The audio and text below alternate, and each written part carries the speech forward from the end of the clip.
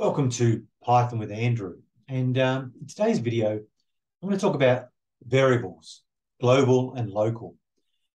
I get a lot of questions from people saying, I don't understand this global versus local variable um, difference. So I'm going to attempt in this video to explain what a global variable is and a local variable is, but more importantly, when should we use one and when should we use the other um, so that we don't get mixed up and don't get confused. Might take a little while, but uh, let's dive right in and have a look at um, some code. The code yet, but uh, let's let's start with the uh, the video.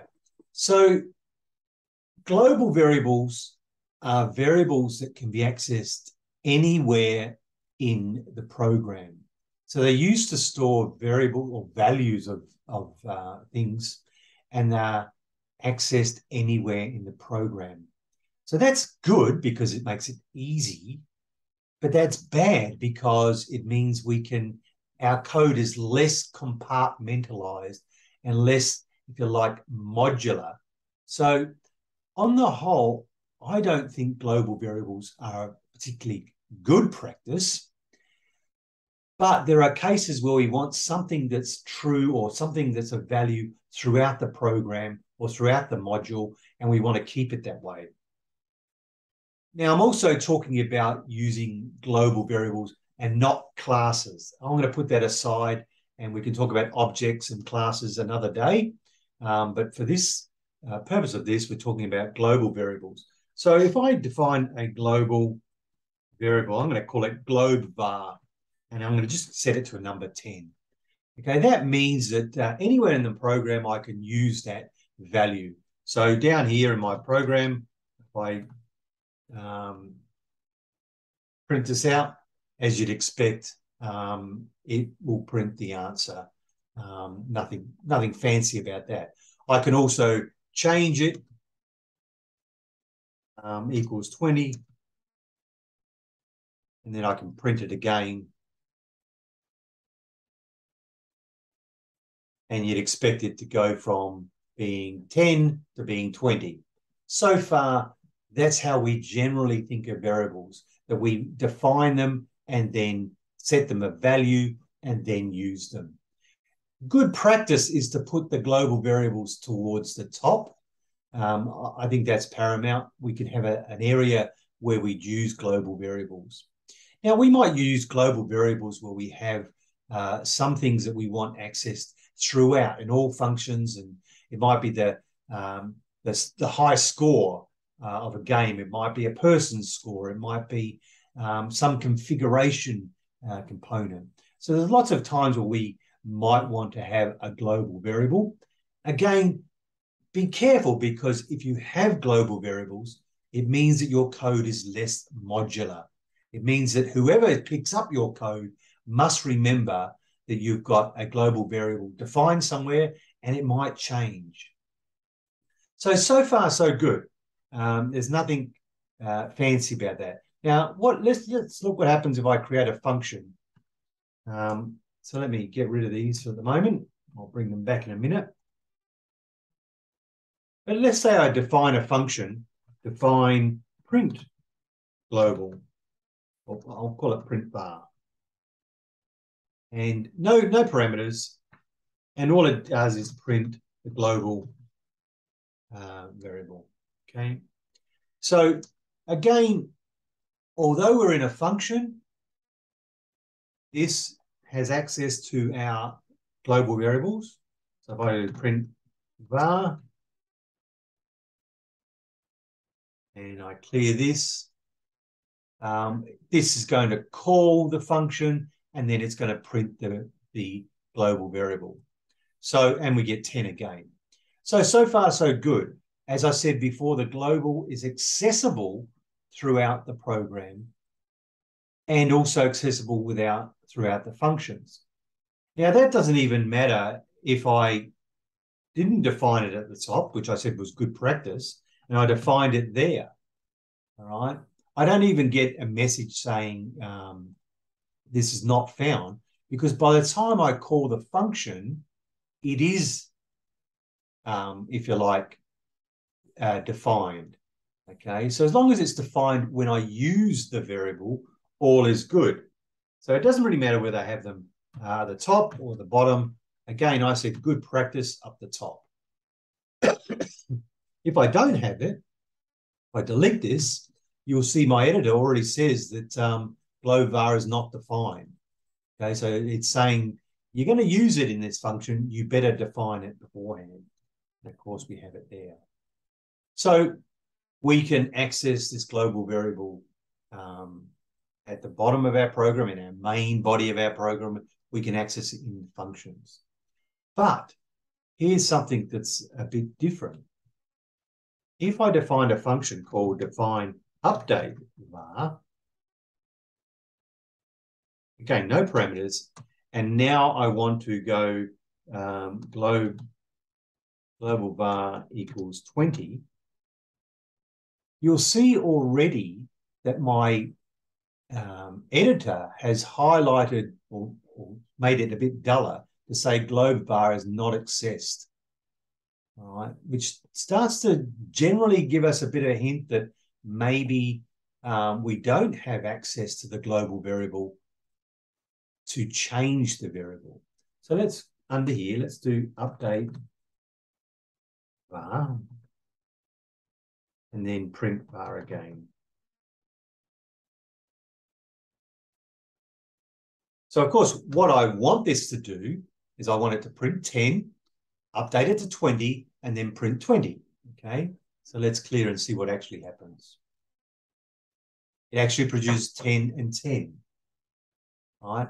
And that's because the rules of Python say if you're going to change the variable, the global variable in a function like I've done, I've like I've tried to do there, uh, you can't do that automatically because Python says, actually, I don't know if that's the global variable or whether you've created a new variable um, inside the uh, function. So I'm a bit confused. To overcome that, Python has a keyword called global. Right? And if you state that in this function, I'm accessing the global variable, then you can change it. So again, a bit tricky, and this is part of the reason why I'm not a big fan of global variables. But if I now run this, I get 10 and 20. So I printed out 10. Then I went to update it. Update variable said, oh, this global var is a global variable. So now you have access to it. We change it to 20, and then we come back out and we print the var, and we get 20. So we have the ability now to not only access global variables throughout our program, access throughout functions, but also change them within functions. Again, I'm not saying I like it, but we have the ability to do that. Okay, so that's how we use global variables uh, in there. Now, how would I prefer to do it? I would prefer to actually pass them into our function and do um, whatever we, whenever we want to do something, we pass it into the function. Or if we want to change something in a function, we return that value. That's how I particularly like doing it. So that's global variables. They're defined generally up top. They don't have to be, but generally up top. Some programming languages force you to do it up top, but um, Python doesn't. As long as you define it or give it a value before you try and access it, right? So that giving the value sort of creates it. So as long as you create it before you access it. And in case of a function, as long as you create the global variable before you call the function which is going to access it. So there's our um, definitions there. Now, what's a local variable? Well, a local variable only exists during the time the, the, the focus of that variable. So for example, and it's typically within a function. So if I do define um, update local, and I won't even do it as a parameter, and I set a local var equal to 10, right, and I can print local var, and I can change it to equals 20 and I can print it out again. So if I now, I'm going to take these away.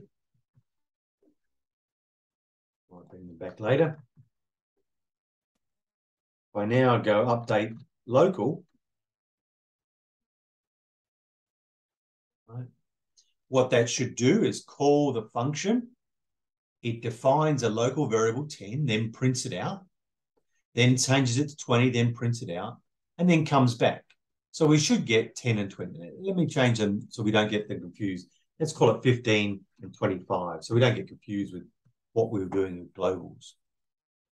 So I do get 15 and 25 because those variables are local to the function. I can create them, I can use them I, as, as long as I like.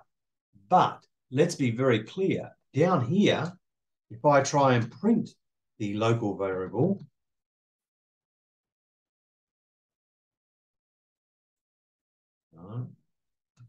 already my editor is saying, hey, that doesn't exist, right? It's not defined, even though we're defining it up here.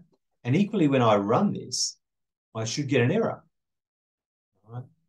Because what's happening is that local variable is only defined inside of the function.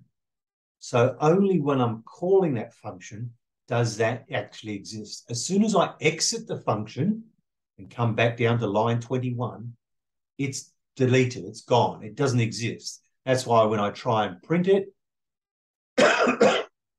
I get an error message. Okay, so local variables are only what's called in scope during that function.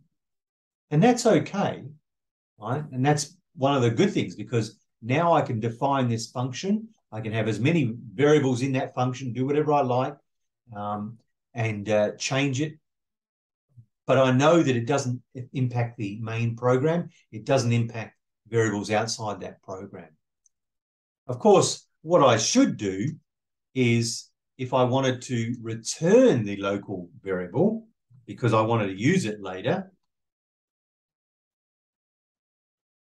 I can return the local variable, all right? And down here, I can, and I'm going to call it uh, L var, not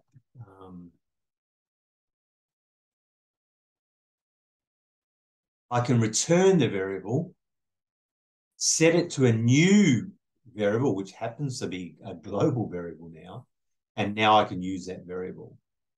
So let me just run that and then, and then I'll explain what's happened there. All right, so it does exactly what I want, which is it calls that function, goes into the function, sets the local variable to 15, prints it out, sets it to 25, prints it out, and then returns it. Whatever I assign it to, this new one called lvar, is a brand new variable and it's got a new value, which is the value returned by the uh, update local function. And now I can print this. So let's define which ones are which. Um, if I was um, going to, actually, let me try and annotate the screen. Let me try and, this one here is a local. Again, I'm using it local, local right? On the other hand, uh, if I change my color, that's the global up there. Oops, didn't change the color. That's the global up there.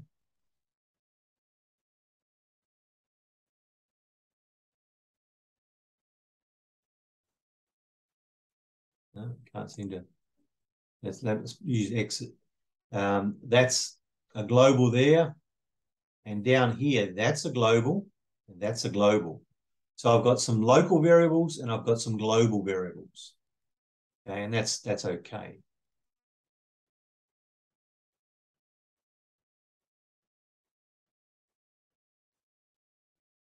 Okay, so it gets a bit trickier from here because the question is, what happens when we pass values into a function? What happens then? So let me clean up my, let me just take this all away.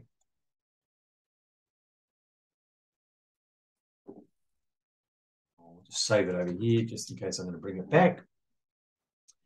And let me define a function called um, update local. And this takes one parameter. Right? I'm going to call it a function variable. Now, the question is, is function variable local or global? And so if I do function, let me actually print it out. Print function variable. And down here, if I go update local 20. And clean that up. I get the answer 20, which is what you'd expect.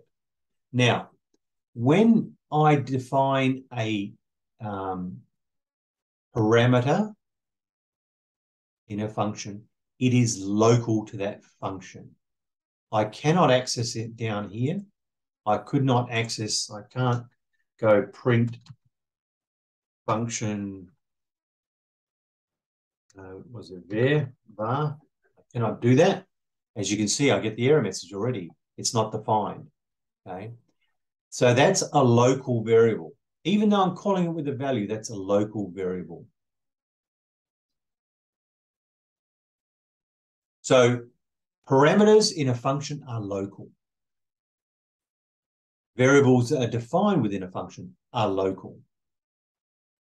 Now that doesn't stop me returning that value, right? Because that's a totally different, I'm returning the value of the function and, and that's fine. But it's important to note that you have global variables at the top, then you have local value variables in a function, and then you have local parameters. Parameters are local to that function is a better way of describing that. Okay, so I hope this uh, explains a bit about the definitions between global and local and when to use one or the other. As I said right up front, my personal belief is that you should limit the number of global variables uh, you have. You should use functions and pass them, uh, pass values in as arguments, return values from functions, and try and keep the functions as uh, local as possible, and not have uh, global variable, not have many global variables. That's my personal opinion. It makes your code much more readable, much more uh, understandable.